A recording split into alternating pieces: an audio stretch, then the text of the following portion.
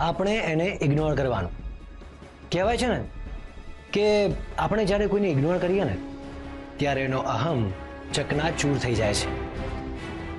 Ignorance is the best remedy for ego right અને એમ પણ લગ્ન પછી હું અને આલિયા અમેરિકામાં સેટલ થવાના છે પછી અરમાન અમારું શું બગાડી લેશે? બરાબર ને, Alia?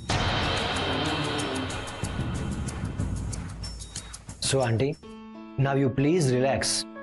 Okay? Uh, aunty મારે આલિયાને કેન્ડલ લાઇટ ડિનર માટે લઈ જવી છે જો તમે પરમિશન આપો તો હું અને આલિયા બેટા મને શું વાંધો હોય તમારા લગ્ન થવાના છે તમે લઈ જાઓ એને ડિનર પર